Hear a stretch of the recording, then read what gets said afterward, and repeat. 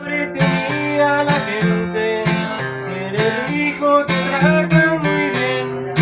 Un amigo se metió a la mafia porque pobre no quiso hacer. Ahora tiene dinero de sobra, por postales le pagan al mes. Todos le dicen el